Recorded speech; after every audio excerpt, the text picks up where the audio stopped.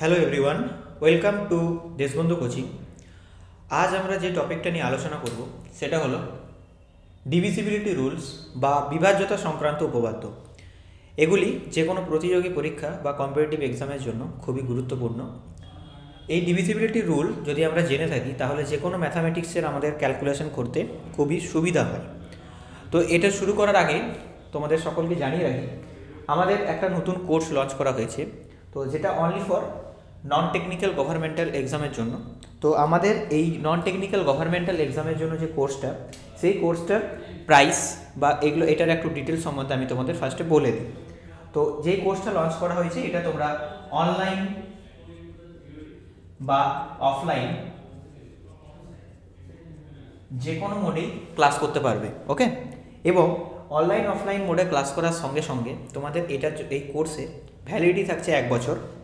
এবং তোমাদের প্রাইস পড়বে সেটার জন্য four five double zero okay এছাড়া আমাদের তোমরা যদি কেউ এই টাকাটা দিতে এককালীন ইচ্ছুক না হয়ে থাকো, তাহলে আমাদের মান্থলি ইনস্টলমেন্টেরও ব্যবস্থা আছে।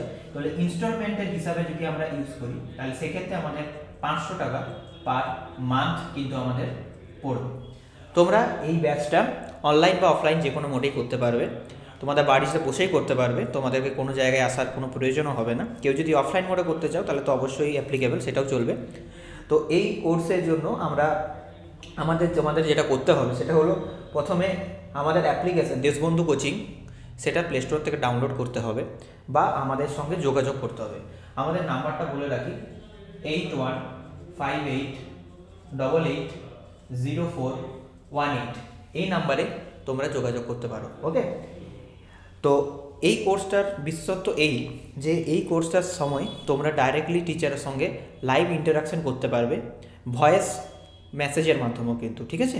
শুধুমাত্র যে চ্যাট বক্সে চ্যাট করে সেরকম কিন্তু নয়, তোমরা একদম ভয়েসলি পুরোপুরি ক্লিয়ারলি টিচারের সঙ্গে ইন্টারাকশন করতে পারবে লাইভ ক্লাসে এবং লাইভ ক্লাসটা শেষ হওয়ার পরে সেই লাইভ ক্লাসের পুরো ভিডিওটা উইথিন টোয়েন্টি ফোর আওয়ার্স আমাদের কিন্তু অ্যাপ্লিকেশানে আপলোড থাকবে। এবং সেই ভিডিও তোমরা যে কোনো মুহূর্তে যতদিন আমাদের সঙ্গে তোমরা জুড়ে থাকবে, ততদিন সেই ভিডিও তোমরা কিন্তু কন্টিনিউয়াস যতবার ইচ্ছে চাইবে, ততবার কিন্তু দেখতে পাবে ওকে নেক্সট আমাদের অ্যাডভান্টেজ হলো যে আমরা এই কোর্সে তোমাদের জন্য এক্সাইটিং কিছু পিডিএফ কিছু এক্সাইটিং মক টেস্টের অ্যারেঞ্জমেন্ট করব, যেগুলো তোমাদের সামনে যেসব এক্সামগুলো হবে গভর্নমেন্ট এক্সাম যে কোনো টাইপের ফোর্স লাইনের এক্সাম সেটা তোমরা ডাব্লিউবিপি বলো বা কলকাতা পুলিশ বলো বা এসএসসি জিডির কথা বলো ওকে এই টাইপের এক্সাম বা সামনে যেহেতু রেলওয়ের ভ্যাকেন্সি হিউজ পরিমাণে বেরোতে চলেছে এলপি টেকনিশিয়ান বা রেলওয়ের আদার্স ভ্যাকেন্সি গ্রুপ ডি বলো বা এনটিপিসি ওকে যে কোনো টাইপের ভ্যাকেন্সি বা এসএসসির এমটিএস ওকে তো যে কোনো প্রতিযোগী পরীক্ষার জন্য কিন্তু সেই মক টেস্ট কিন্তু খুবই উপকারী হিসাবে কাজে লাগবে ওকে এগুলো হলো আমাদের বিশেষত্ব। এবং আমাদের আরও একটা বিশেষত্ব হলো যে আমাদের সপ্তাহে কিন্তু চার দিন ক্লাস হবে। উইকলি উইকলি আমাদের ফোর ডেজ ক্লাস হবে এবং প্রতিটা ক্লাসের ডিউরেশন কিন্তু মোটামুটি টু আওয়ার্স করে অবশ্যই থাকবে। ওকে এছাড়াও তোমরা ধরে রাখবে যে আমাদের উইকলি এই ক্লাসটা কিন্তু কখনো কখনো বাড়তেও পারে। তাহলে তোমরা যেটা পেয়ে যাচ্ছ, এখানে আমি আরেকবার রিপিট করে দিই। তোমরা ফার্স্টলি যেটা পাচ্ছ, সেটা হচ্ছে প্রতিটা ক্লাস লাইভলি করতে পারবে। এবং টিচারের সঙ্গে লাইভ ইন্টারাকশন করতে পারবে। সমস্ত সাবজেক্ট আলাদা আলাদা টিচার অভিজ্ঞ টিচার দ্বারা পড়ানো হবে ওকে এছাড়া আর যেটা পাবে, তোমরা মক টেস্ট সিরিজ পাবে। মক টেস্ট সিরিজের সাথে সাথে স্টাডি মেটেরিয়াল পাবে এখান থেকে যেগুলো আমরা আমাদের অ্যাপ্লিকেশনে আপলোড করে দেবো ওকে সেগুলো তোমরা পাবে। এছাড়া প্রতিটা ক্লাসের রেকর্ডেড ভিডিও কিন্তু তোমরা পেয়ে যাচ্ছ। সেটা তোমরা অ্যাক্সেস করতে পারবে। যতবার ইচ্ছা তোমরা দেখতে পাবে। এছাড়া special one to one doubt clearing session আমরা রাখব, যাতে করে তোমাদের কোনোরূপ কোনো ডাউট না থেকে থাকে ওকে তাহলে তোমাদের যেটা করতে হবে, এই প্রাইসের মধ্যে একদম এফোর্ডেবল প্রাইসে আমরা রেখেছি। খুবই নমিনাল প্রাইস আইদার তোমরা সাড়ে চার হাজার টাকা দিয়ে এটা কিনতে পারো, অথবা ইনস্টলমেন্টে পাঁচ হাজার, পাঁচশো টাকা পার মান্থে কিনতে পারো ওকে তোমাদের যেটা করতে হবে আইদার প্লে স্টোর থেকে দেশবন্ধু কোচিং অ্যাপ্লিকেশান তোমরা ডাউনলোড করে কোর্সটা পারচেস করতে পারো, অথবা এখানে এই নাম্বারে তোমরা কিন্তু চাইলে যোগাযোগ করতে পারো ওকে এছাড়াও আরও ডিটেলস নাম্বার আমরা কমেন্টে বা এটা ডিসক্রিপশনে দিয়ে দেবো ওকে তো চলো, এবার স্টার্ট করা যাক আমাদের ডিভিসিবিলিটি রুল তাহলে ডিভিসিবিলিটি রুলটা জানার জন্য আমাদের যেটা মেন দরকার যে কোনো সংখ্যাকে যদি আমাদের ভাগ করতে হয় ঠিক আছে, বা একটা নাম্বার দিয়ে দিল, খুব বড় টাইপের সংখ্যা। সেই সংখ্যাটাকে আদৌ আমাদের কোনো একটা সংখ্যা দ্বারা ডিভাইড ডিভাইড করতে পারব কি না সেটা আমরা কীভাবে বুঝব, সেটা বোঝার একটা টেকনিক ওকে তাহলে এক দিয়ে ডিভাইড করার তো আমাদের কোনো টেকনিক তোমাদের জানার কোনো প্রয়োজন নেই ওকে দুই দিয়ে ডিভিজিবিলিটি রুল আশা করছি সকলেই জেনে থাকবে, যে দুই দিয়ে যদি ডিভিজিবল কখন হবে, না দুই দিয়ে ডিভিজিবল তখন হবে আয়তার সেই সংখ্যাটার শেষে যদি জিরো থাকে, তখন সেটা দুই দিয়ে ডিভাইড হবে, অথবা সংখ্যাটা যদি জোর সংখ্যা হয় ওকে তাহলে আয়তার যদি সংখ্যাটির শেষে, যদি সংখ্যাটির শেষে শূন্য বা জোড় সংখ্যা থাকে, তবে সেটি কিন্তু আমার দুই দিয়ে ডিভাইড হবেই ওকে এরপর আমাদেরকে যেটা জানতে হবে, সেটা তিন দিয়ে ডিভিসিবিলিটি রুল তাহলে তিন দিয়ে ডিভিশন ডিভাইড কখন আমরা করতে পারব? না, আমরা তিন দিয়ে ডিভাইড আমরা তখনই করতে পারব, যদি একটা বড় সংখ্যা যদি থাকে, সেই সংখ্যাগুলোর যোগফল যদি তিন দিয়ে ডিভাইড করতে পারি আমরা, তাহলেই আমরা বলতে পারব এই সংখ্যাটা আমাদের তিন দিয়ে ডিভাইড কিনা। যেমন ধরো আমরা এক্সাম্পল হিসেবে যদি আমরা ধরি যে সাপোজ হয়তো আমাদের টোয়েন্টি সেভেন তাহলে আমরা এই টোয়েন্টি সেভেনটাকে কি লিখতে পারব? Two plus seven equal to nine এই নাইন তো আমাদের তিন দিয়ে ডিভাইড হয়ে যাচ্ছে, তাহলে আমরা বলতে পারব টোয়েন্টি সেভেনটাও তিন দিয়ে ডিভাইড ডিভিসেবল ওকে এছাড়া আমরা যদি একটা বড় সংখ্যা দেখি, বড় সংখ্যার ক্ষেত্রে আমাদের কি হবে? একটা আমরা বড় সংখ্যার একটা যদি আমরা এক্সাম্পল নিই তাহলে সাপোজ হয়তো two four six three seven two two four six three seven two এই সংখ্যাটাকে যদি আমরা দেখি, তাহলে আমরা কি করতে পারি? এই সংখ্যাগুলোকে যোগ করতে পারি। সাত আর দুয়ে নয় নয় আর তিনে বারো বারো আর ছয় আঠেরো, আঠারো আর চারে বাইশ বাইশ আর দুই চব্বিশ। তাহলে চব্বিশ আমাদের ভ্যালুটা আসছে। তাহলে চব্বিশটাকে আমরা তো নিশ্চয়ই তিন দিয়ে ডিভাইড করতে পারি, তিন আটকে চব্বিশ আসে। তাহলে ডিভাইড হয়ে যাচ্ছে। অর্থাৎ এটা কিন্তু অবশ্যই এই পুরো সংখ্যাটা কিন্তু আমার তিন দিয়ে ডিভাইড হবেই একদম। অথবা এটার আরেকটা টেকনিক আছে, সেটা হচ্ছে এত কিছু না করে আমরা এগুলোকে কেটে দিতে পারি। কীভাবে কেটে দিতে পারি? না, দেখো, এটা সুবিধাটা কি? যে আমরা তিনের যে সংখ্যাটা আছে, বা তিন বা তিনের মাল্টিপেলগুলোকে কেটে বাদ দিয়ে দেবো ওকে দেখো, তাহলে আমরা বলতে পারি কি? তিনকে প্রথমে বাদ দিয়ে দিলাম, ছয়ও তিন দিয়ে যায়, আমরা জানি কেটে বাদ দিয়ে দিলাম। সাত আর দুয়ে নয়, এটাও তিন দিয়ে যায় ওকে বাদ দিয়ে দিলাম। আর চার আর দুয়ে ছয়, এটাও আমরা তিন দিয়ে বাদ দিয়ে দিলাম। যখন দেখছি যে এটা কেটে দেওয়ার পর আমাদের আলটিমেটলি জিরো চলে আসছে, তাহলে আমরা বলতে পারব এই সংখ্যাটাও কিন্তু তিন দিয়ে ডিভিসেবল ওকে তো চলো তাহলে নেক্সট আমরা দেখব যে ফোর দিয়ে ডিভিসিবিলিটি রুল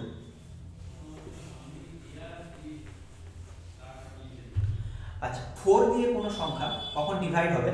না, আমরা দেখব যে পুরো বড় সংখ্যাটা, যদি আমাদের একটা বড় সংখ্যা থাকে, সেই সংখ্যাটার শেষ অঙ্ক যদি আমার বা মানে আমরা মেন যেটা বলব যে শেষ দুটো ডিজিট যদি আমার চার দিয়ে ডিভাইড করা যায় বা শেষের দুটো ডিজিট যদি আমার শূন্য শূন্য থাকে, সেক্ষেত্রেও কিন্তু আমরা বলতে পারব যে সংখ্যাটা চার দিয়ে ডিভিসেবল ওকে অর্থাৎ শেষের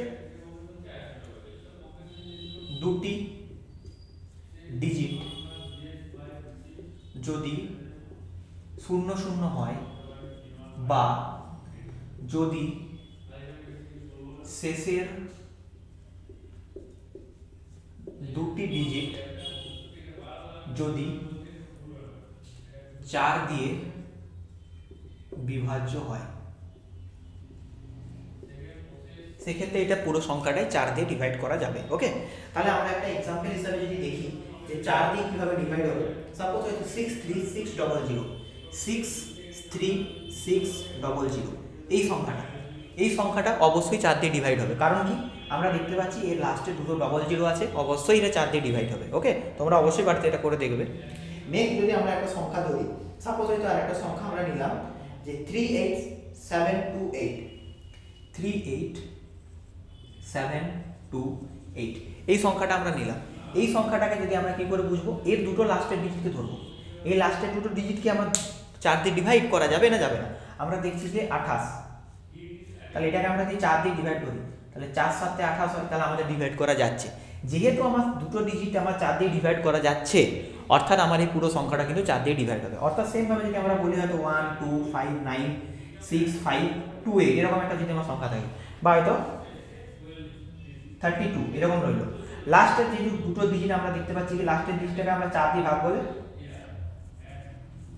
এইট চলে আসছে, অর্থাৎ কেটে যাচ্ছে, তার মানে এই পুরো সংখ্যাটা কিন্তু আমার চার দিয়ে ডিভিজিবল হবেই একদম ওকে আচ্ছা তাহলে আমরা এরপরে আমরা দেখব যে ফাইভ দিয়ে কখন ডিভিজিবল হয়। ফাইভের ডিভিজিবিলিটি রুল খুবই সোজা ফাইভের ডিভিজিবিলিটি রুল হচ্ছে যদি সংখ্যাটির শেষে, যদি সংখ্যাটির শেষে শূন্য বা পাঁচ থাকে, তাহলে এটা ডিভাইড করা যাবে। এটা আশা করছি সকলে তোমরা জানবে।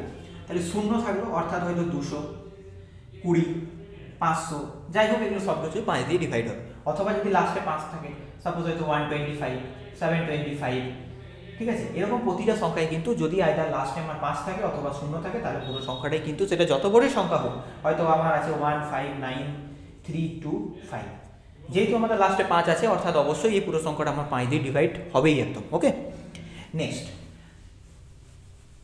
নেক্সট আমরা সিক্সের ডিভিজিবিলিটি রুল সিক্সের ডিভিজিবিলিটি রুল আমরা দেখতে পারব যে সিক্সের ডিভিজিবিলিটি রুলটা কীরকমভাবে হয়। আমরা যদি সিক্সটাকে আমরা ভাঙি প্রাইম নাম্বারে তাহলে কীভাবে ভাঙতে পারি? সিক্সটাকে আমরা ভাঙবো দুই আর তিনে, অর্থাৎ তিন দুয়ে ছয় হয়। তাহলে আমরা অলরেডি দুইয়ের ডিভিজিবিলিটি রুল পড়েছি, তিনের ডিভিজিবিলিটি রুল পড়েছি। দুইয়ের ডিভিজিবিলিটি রুলে কি বলা হলো? যে যদি আমার জোর সংখ্যা থাকে অথবা শেষের ডিজিট যদি আমার দুই হয় ওকে তাহলেই আমার এটা ডিভি সরি যদি আমার জোর সংখ্যা থাকে অথবা যদি আমার শেষে জিরো থাকে তাহলে আমার দুই দিয়ে ডিভাইড হয়ে যাবে। এছাড়া তিনের ডিভিজিবিলিটি রুল কি হলো? যে লাস্টের দুটো ডিজিট যদি আমার মানে পুরো সংখ্যাগুলোকে যদি যোগ করে আমার যেই সংখ্যাটা আলটিমেটলি বেরোবে, সেটা যদি আমার তিন দিয়ে ডিভাইড হয়, তাহলেই আমার সংখ্যাটা তিন দিয়ে ডিভিজিবল হবে ওকে তাহলে ছয়ের ডিভিজিবিলিটি রুল চেক করতে গেলে আমাকে দুটো দিয়েই চেক করতে হবে ওকে তাহলে যদি আমরা অ্যাজ এ এক্সাম্পল আমরা যদি ধরি সাপোজ হয়তো টু সিক্স ফোর একটা বড় সংখ্যা ধরলাম two six four three eight nine three eight nine one three two suppose একটা এরকম সংখ্যা ধরলাম। এবার আমরা চেক করব যে এটা সিক্স দিয়ে ডিভাইড হবে নাকি। আমরা প্রথমে দেখতে পাচ্ছি দুই দিয়ে তো ডিভাইড তো হচ্ছে, কোনো অসুবিধা নেই। কারণ কি? কারণ লাস্টে দুই আছে, তার মানে অটোমেটিক দুই দিয়ে যাবে। লাস্টে যেহেতু আমাদের জোর সংখ্যা আছে। তাহলে এরপর আমাদের মেন যেটা চেক করার কাজ যে তিন দিয়ে যাবে নাকি। তাহলে আমরা দেখতে পাচ্ছি তিনকে আমরা কেটে দিলাম। দুই আর একে তিন কেটে বাদ চলে গেল। নয় তিন দিয়ে যাই, কেটে বাদ দিয়ে দিলাম। তিন যাই। আচ্ছা ছয়, তিন দিয়ে যায় চলে গেল। চার আর দুই, ছয়, তিন দিয়ে যায় চলে গেল।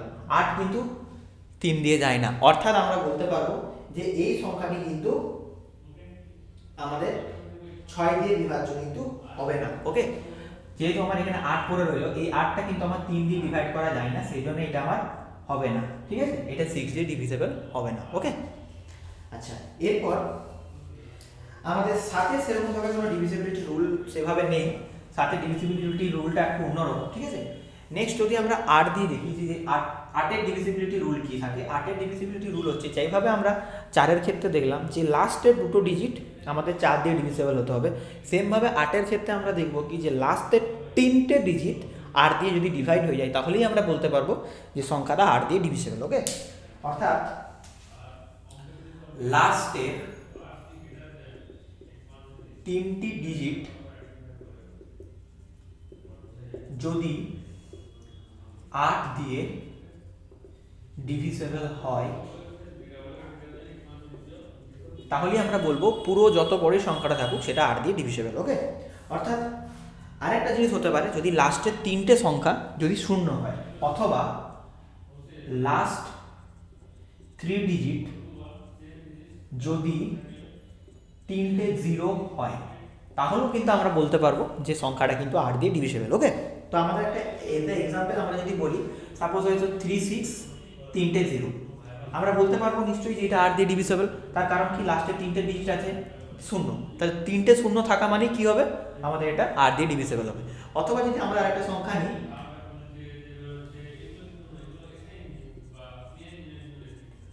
এই সংখ্যাটা যদি আমরা নিই, তাহলে কি দেখব আমরা?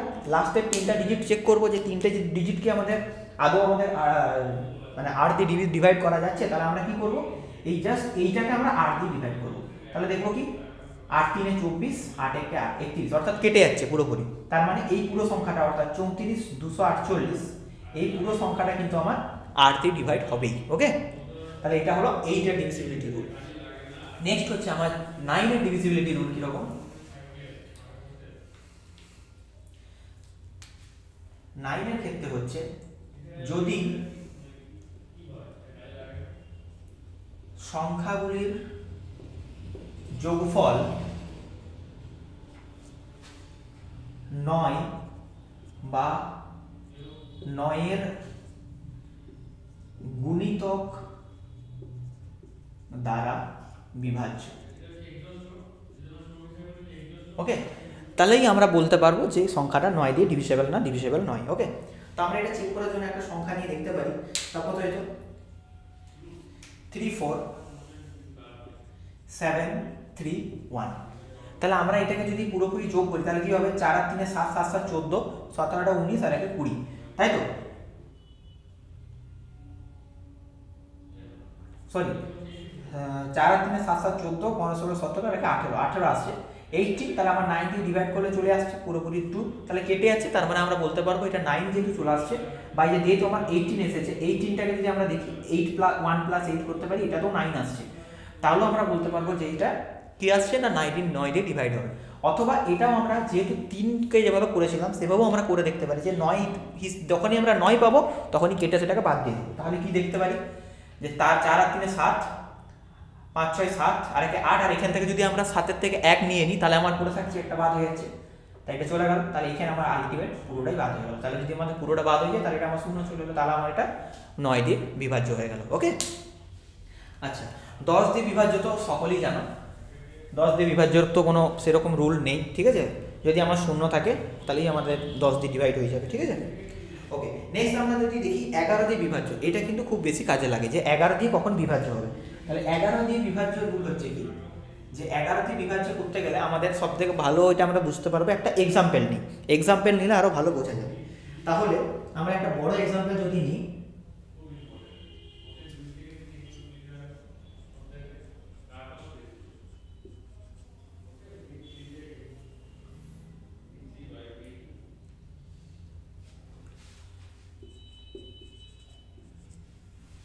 আমরা একটা বড় সংখ্যা নিয়েছি। আমরা প্রথমে যেটা দেখব যে এর কোন কোনগুলো অড নাম্বার আর কোনগুলো ইভেন নাম্বার মানে অড কোন কোন জায়গাতে অড অড সংখ্যা আছে। তাহলে অড অড সংখ্যার যে আমার স্থানীয় মানগুলো, তাহলে আমরা দেখতে পাচ্ছি এটা এক, এটা একটা এটা একটা, আবার এটা একটা। অর্থাৎ এগুলোকে আমরা যোগ করব। তাহলে কত হচ্ছে? চার প্লাস তিন প্লাস সাত প্লাস দুই। তাহলে কত হলো? সাত আর দুই নয়, দশ, এগারো, বারো, তেরো, চোদ্দ, পনেরো, ষোলো। ষোলো এরপর আমরা দেখছি এই বাকিগুলো। পাঁচ আর তিনে আট আট আর আটে ষোলো। তাহলে আমরা দেখতে পাচ্ছি কি পাঁচ প্লাস তিন প্লাস আট। তাহলে আমার ষোলো চলে। তাহলে আমরা দেখতে পাচ্ছি কি? যে অড প্লেসেসের যে মানটা ছিল, সেটাও আমার বেরোচ্ছে ষোলো। আবার ইভেন প্লেসের যেটা মান, সেটাও বেরোচ্ছে ষোলো। অর্থাৎ আমাদের সেম বেরিয়ে গেছে। তাহলে আমরা লিখতে পারি কি? যে সিক্সটিন মাইনাস সিক্সটিন তাহলে আমার ভ্যালুটা বেরিয়ে গেল জিরো অর্থাৎ আমাদের এগারো দিয়ে ডিভাইড একটা সংখ্যা তখনই হবে যদি তার অড অড প্লেসের যে ভ্যালুর যে সামেশন সেটা যদি আমাদের ইভেন প্লেসের সামেশনের সঙ্গে যদি মিলে যায়, বা এমন কিছু সংখ্যা আছে যেটা এগারো দ্বারাও বিভাজ্য হবে, তা সেক্ষেত্রেও কিন্তু আমরা বলতে পারব যে সংখ্যাটা এগারো দ্বারা বিভাজ্য। তাহলে আজ এইটুকুই থাক, ঠিক আছে? বাকি এগারোর পরে বারো, তেরো এগুলো যেগুলো আছে, সেগুলো আমরা অন্য ক্লাসে ডিসকাস করব ওকে তো তোমাদের আরেকবার মনে করে দিই, আমাদের যে কোর্সটা লঞ্চ করা হয়েছে সেই কোর্সটাতে তোমরা খুব তাড়াতাড়ি এনরোল করো। আশা করছি তোমরা জীবনে অনেক উন্নতি করতে পারবে এই কোর্সটা নিয়ে ওকে থ্যাংক ইউ